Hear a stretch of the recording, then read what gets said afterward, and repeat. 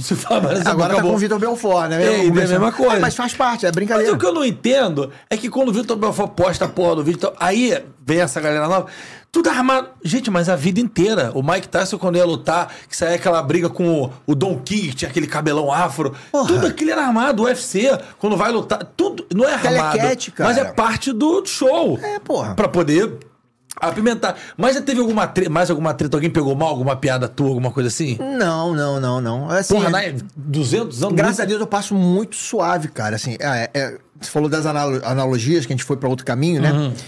Quando eu comecei a fazer show pra adulto, eu comecei na época da escolinha e fazia muito show pra circo, né? Circo. Circo, 5 horas da tarde, fazia 4, 5 circos por dia. Criançada ficava enlouquecida com o personagem. Só que eu queria fazer show de humor pra adulto. E aí, por inexperiência, o que aconteceu? Eu pesava muito a mão. O vocabulário era bem Que é pesado o que a mesmo. galera gosta no final das contas, só que tinha criança. Não, não, não. Então, mas aí era muito pesado. Pesado é uma coisa, era muito, eu passava da conta, entendeu? E isso aí não percebia que tava passando da conta. Mas, Eu- tipo, em que nível de passar da conta? Cara, não dá nem pra falar, era pesado, era pesado. E aí. Mais do que cu de gambá? Não, cu de gambá é, é um.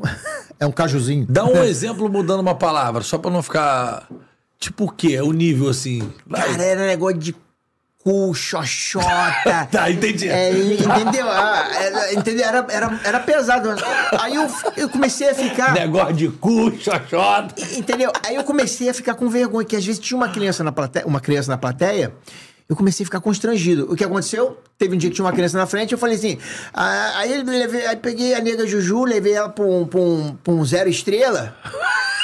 Que Eu ia falar motel, né? Aí eu falei, levei ela pra um, pra um zero estrela, e muitas coisas da patrulha também eu fui lembrando, né? Aí eu, aí eu, aí cheguei lá, fui bater uma virilha, que eu lembrei que o Dicró falava bater virilha, e o Dicró conversava comigo, em vez de, em vez de falar cruzar, transar, falar bater virilha.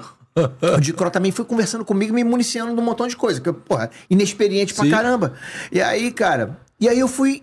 E eu percebi que às vezes ficava mais engraçado que o próprio palavrão, entendeu? Sim. Pô, cheguei em casa de madrugada, meu irmão, tava com o percurso da girafa, chegava estar entortada assim, ó. Aí eu falei, vou dar uma chamuscada na nega, hein? Aí, entortei a portinha da gaiola da nega Ju até 5 horas da manhã. Meu irmão, quase que eu perdi as orelhinhas do gambá. As orelhinhas do gambá chegou a ficar esfolada. Só parei, sabe quando? Depois que chorei o branquinho. Olha a quantidade de absurdo que eu falei. Olha a quantidade de absurdo sem fala. falar um palavrão. Ah, genial. E tu, você entendeu todos Porra, eles, né? é genial, E aí eu cara. comecei a sobre... Eu falei, opa, acho que o caminho é esse. Aí eu comecei a desenhar o personagem, né, nessa, nessa configuração de, Ah, é de muito analogias, bom, cara.